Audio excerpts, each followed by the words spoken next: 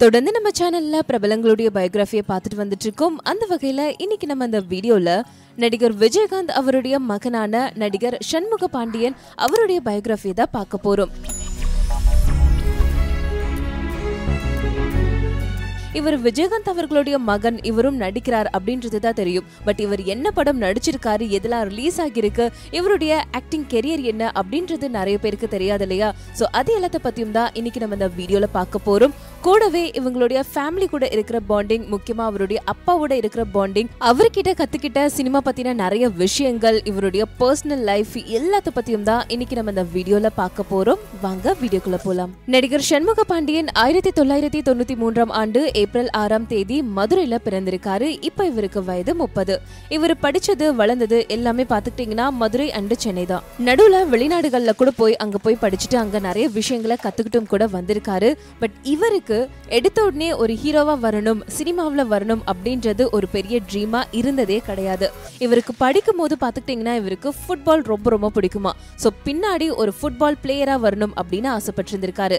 அவர் ஒரு இன்டர்வியூல சொல்லியிருக்காரு. இப்போதான் இந்த டைம்ல தான் இந்தியாவில் கிரிக்கெட்டை தாண்டி நிறைய ஸ்போர்ட்ஸ்க்கு வந்து முக்கியத்துவம் கொடுக்குறாங்க. பட் அந்த அந்த பீரியட்ல பார்த்துக்கிட்டிங்கன்னா கிரிக்கெட் மட்டும்தான் ஸ்போர்ட்ஸ் அப்படின்ற மாதிரியான ஒரு விஷயம் தான் இருந்தது. அதனால நான் ஃபுட்பால் பிளேயராக வரணும் அப்படின்னு நினைக்கும் போது நிறைய விஷயங்கள் அப்போ எனக்கு மிஸ் ஆச்சு. அந்த வாய்ப்பு எனக்கு கிடைக்கல அப்படின்றத சொல்லியிருக்காரு. இவருக்கு ஃபுட்பால் மட்டும் கிடையாது. நிறைய ஸ்போர்ட்ஸ்னாலே இவருக்கு ரொம்ப ரொம்ப பிடிக்குமா? அவங்களுடைய அப்பாக்கு ஸ்போர்ட்ஸ் ரொம்ப பிடிக்கும் அப்படின்றதுனால விஜயகாந்த் அவர்களுடைய ரெண்டு மகன்களுமே ஸ்போர்ட்ஸில் ரொம்பவே ஆக்டிவாக இருந்திருக்காங்க. ஸ்போர்ட்ஸில் இப்படி பண்ணலாம் அப்படி பண்ணலான்னு ஒரு பெரிய பிளானிங்கோட சின்ன வயசுலேருந்தே இருந்திருக்காங்க. பட் சண்முக பாண்டியன் அவருக்கு ஒரு இன்ஜுரி நடந்திருக்கு. அதுக்கப்புறமா தான் ஸ்போர்ட்ஸ்ல ரொம்பவே ஆக்டிவா இருக்க முடியாம ஸ்போர்ட்ஸ்ல எதுவுமே பண்ண முடியாம போயிருக்கு. சோ ஸ்போர்ட்ஸ் இல்லைன்னு ஆயிடுச்சு. அடுத்ததா இவருக்கு போட்டோகிராஃபி மேல ஒரு இன்ட்ரெஸ்ட் வந்திருக்கு. அதுக்காக நம்ம நல்லா படிக்கணும் அதுக்காக ஏதாவது பண்ணணும் அப்படின்னு சொல்லி இவர் விஸ்காம் படிக்க ஆரம்பிச்சாரு. விஸ்காம் படிக்கும் போதே இவருக்கு வந்து போட்டோகிராஃபில இருக்கிற அந்த ஒரு இன்ட்ரெஸ்ட் அதிகமாகி நாமளும் பெரிய ஆளா ஒரு வைல்ட் லைஃப் போட்டோகிராஃபரா வரணும் அப்படின்னு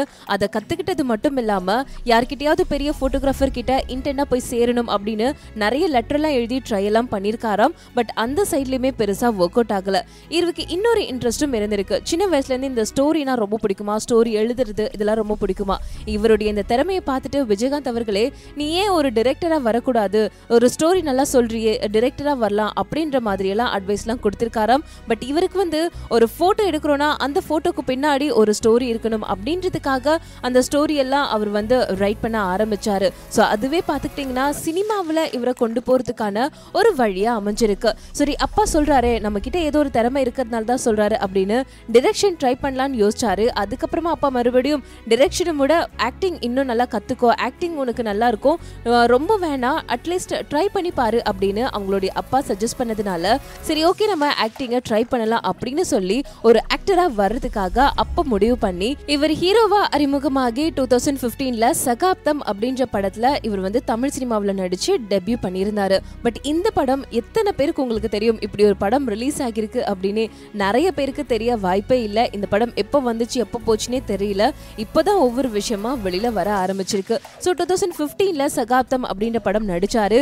நிறைய பேர் சொல்லுவாங்க ஒரு பெரிய ஹீரோவோட பையன் அதனால நான் எனக்கு ஈஸியா சான்ஸ் கிடைச்சிரும் அப்படின்னு சொல்லுவாங்க. பட் அந்த மாதிரிலாம் எதுவுமே கிடையாது. நான் ஒரு புது நடிகரா ஒரு புது பையனாக தான் இந்த இண்டஸ்ட்ரிக்குள்ள வந்து எனக்குன்னு ஒரு பேர் சம்பாதிக்கிறதுக்காக நான் இன்னமும் கஷ்டப்பட்டுட்டு இருக்கேன் அப்படின்றத ரீசெண்டாக நடந்த ஒரு இன்டர்வியூல சண்முக பாண்டியன் அவர்கள் சொல்லியிருக்காரு. அது மட்டும் இல்லாம மக்கள் ஆடியன்ஸுக்குமே ஒரு அட்வைஸ் கொடுத்திருக்காரு. என்ன விஜயகாந்த் அவர்களுடைய மகனா என்ன நினைச்சு பார்க்காதீங்க. ஏன்னா அப்பா பண்ண வேலையெல்லாம் நான் வந்து அதை தொடக்கூட முடியுமான்னு எனக்கு தெரியல. அந்த ஒரு விஷயத்தோட என்ன பார்த்தீங்கன்னா கண்டிப்பா உங்களுக்கு வந்து நிறைய எக்ஸ்பெக்டேஷன் இருக்கும். தயவு செஞ்சு அப்படி பண்ணாம அவருடைய இடத்த என்னால் பிடிக்க முடியுமான்னு தெரியல. பட் நான் ட்ரை பண்ணிட்டு இருக்கேன்.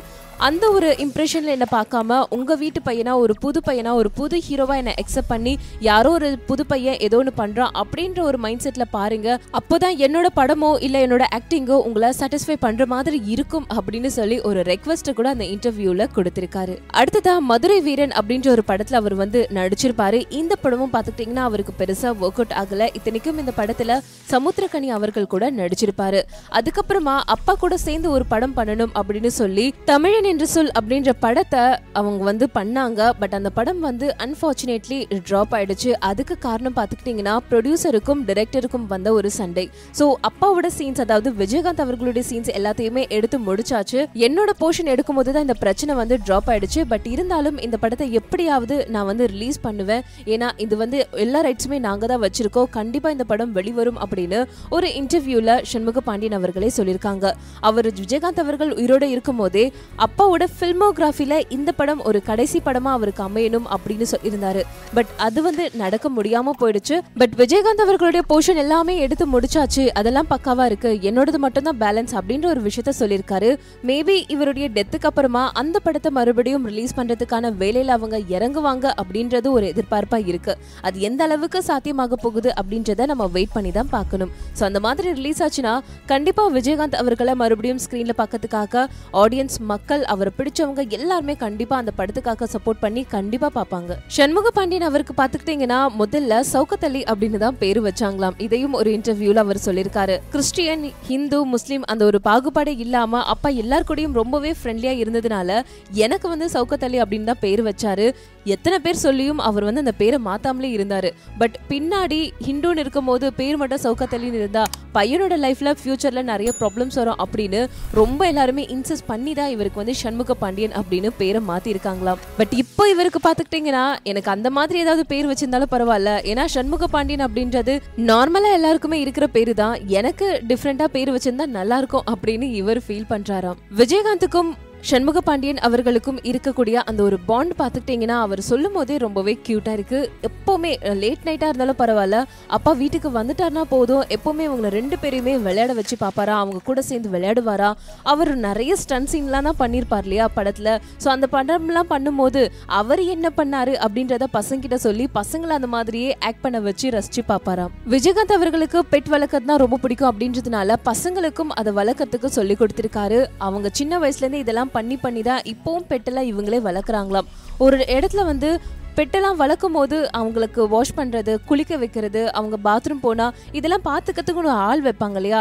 அதெல்லாம் ஏன் பண்ணுறீங்க உங்கள் நாய் நீங்கள் தான் வளர்க்கணும் அப்படின்னு சின்ன வயசுலேருந்தே சொல்லி கொடுத்துருக்காராம். ஸோ அந்த விஷயத்தை இவங்க ரெண்டு பேரும் இப்போவும் ஃபாலோ பண்ணுறாங்களாம் விஜயகாந்த் அவர்கள் ஷூட்டிங்க்கு எப்போவுமே ஷார்ப்பாக போயிடுவாராம். அதுக்கப்புறம் அந்த ஸ்டன்ஸ் எல்லாம் பண்ணும்போது டூப்பே போட மாட்டாராம். ஸோ அந்த ஒரு ஃபார்முலாவை ஃபாலோ பண்ணி இவங்களும் பார்த்துக்கிட்டிங்கன்னா சினிமாவில் சக்ஸஸ் ஆகணும் அப்படின்றதுக்காக தனக்குன்னு ஒரு நல்ல பேர் கிடைக்கணும் அப்படின்றதுக்காக இவங்களும் அந்த ரூல்ஸ் எல்லாம் ஃபாலோ பண்ணுறாங்களா அதாவது சண்முக பாண்டியன் ஃபாலோ பண்றாராம். அவரெல்லாம் கரெக்டா இருந்தாரு. நான் கரெக்டா இருக்கும்போது இப்போவே ஏன்டா இவ்வளோ பங்க்சுவலா இருக்கே? இப்போவே எதுக்கு டூப் போடாம ஸ்ட்ரெயின் பண்ணிக்கிறேன் அப்படின்னு விஜயகாந்த் அவர்களே கேட்பாராம். சண்முக பாண்டியன் அதுக்கு நீங்க மட்டும் அப்படி இருந்தீங்கல்ல நான் மட்டும் எப்படி அதை வந்து தவறா பண்ண முடியும்? அப்படின்னு சொல்லி இவருமே இவ்வளவு பர்ஃபெக்டா இருக்கணும் அப்படின்னு இருப்பாராம். சோ பெரிய பையன் அரசியலுக்கு போயிட்டாரு. நீங்க மட்டும் ஆக்டிங்ல வந்துட்டீங்களே அப்படின்னு கேட்கும்போது இது வந்து நாங்க பிளான் பண்ணி ஃபேமிலியில எதுவுமே பேசிக்கிட்டலாம் எதுவுமே பண்ணல.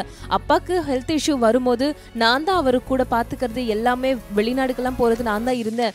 அந்த டைமில் கட்சியை பார்த்துக்கிறதுக்கு ஒரு ஆள் வேணும் அப்படின்றதுனால அண்ணன் பார்த்துக்கிட்டாரு ஸோ அதனால் அண்ணா அதை பண்ணுறாரு நான் இதை பண்ணுறேன் மற்றபடி நான் இதை தான் பண்ணணும் அண்ணா அதை தான் பண்ணணும் அப்படின்லாம் யாருமே பேசி வச்சு பண்ணலை அப்படின்னு சொல்லியிருக்காரு. ஸோ இப்போ பார்த்துக்கிட்டிங்கன்னா இவருடைய படைத்தலைவன் அப்படின்ற ஒரு ஃபிலிம் ரிலீஸ் ஆக இருக்கு. இந்த படம் அவருக்கு ஒரு கெரியரில் ஒரு நல்லதாக அமையும் அப்படின்னு சொல்லி எல்லாருமே எக்ஸ்பெக்ட் பண்ணிட்டு இருக்காங்க ஸோ எல்லாரோட பிளஸிங்ஸ் கூட இந்த ஒரு படம் ரிலீஸ் ஆக இருக்கு. இது அவருடைய கெரியரில் பெஸ்டான ஒரு படமா ஒரு நல்ல ஒரு இவரை ஐடென்டிஃபை பண்ற மாதிரியான இவருடைய திறமைக்கு ஒரு நல்ல படமாக அமையணும் அப்படின்னு நம்ம எல்லாருமே வாழ்த்துக்களை தெரிவிச்சுக்கலாம். ஸோ வியூவர்ஸ் இன்னைக்கு நம்ம இந்த வீடியோவில் விஜயகாந்த் அவர்களுடைய மகனான ஆக்டர் சண்முக பாண்டியன் அவருடைய பயோகிராஃபியை பார்த்துருக்கோம். ஸோ இவரை பற்றின உங்களுடைய கருத்து என்ன அப்படின்றத நீங்கள் கமெண்ட் பாக்ஸில் கமெண்ட் பண்ணிடுங்க. அண்ட் இதே மாதிரி இன்னும் பல செலிபிரிட்டிஸ் அவங்களுடைய பயோகிராஃபியை தெரிஞ்சுக்க நம்ம சினி சமூகம் சேனலை சப்ஸ்கிரைப் பண்ணிட்டு பக்கத்தில் இருக்கிற பெல் ஐக்கனை மறக்காமல் ப்ரெஸ் பண்ணிடுங்க.